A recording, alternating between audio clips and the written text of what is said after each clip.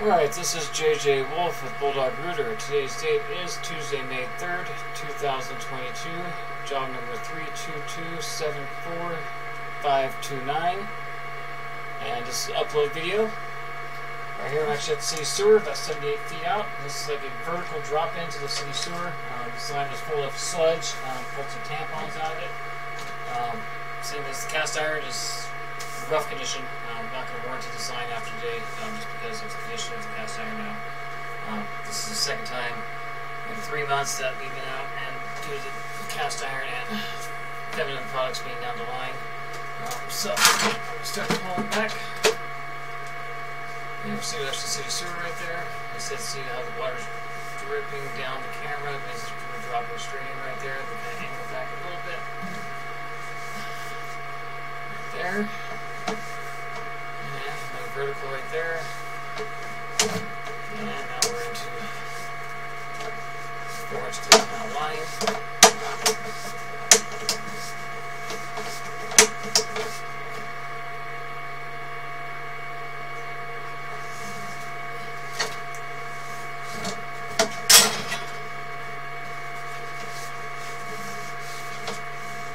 tiles in great shape A couple minor offsets, nothing really to worry about.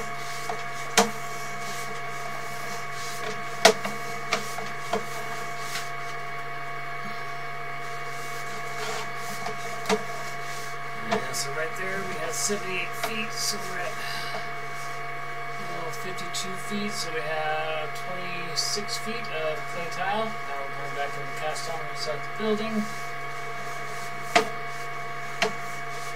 This cast iron is the cause of most of the backup today. We'll get to the really rough sections. I'm going to email, re-email the coat estimate for customer. What is happening is the family project getting caught on the roughness of the cast iron flaking and causing sludge to build up and causing backups.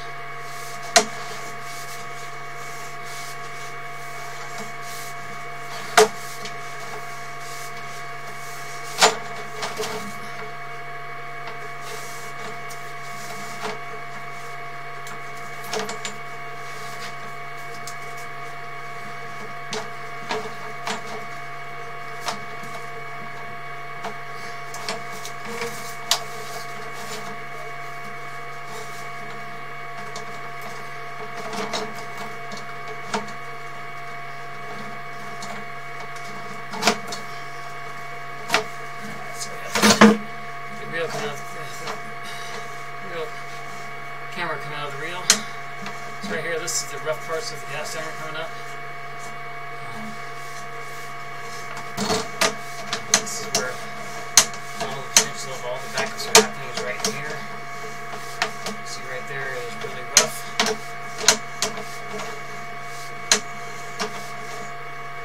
Right there is another tie-in. That's not so clean out what it is right there. It's about 18 feet out. You can see I'm working out. There's this heavy amount of flaking build up in the slime.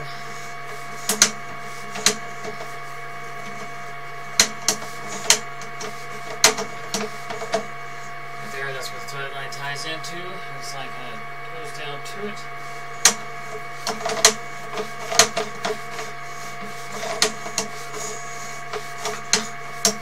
Right here is the cleanup line I'm working on. This is JJ Wolf, Bulldog Rooter. Thank you again for choosing Bulldog Rooter. This does conclude your video.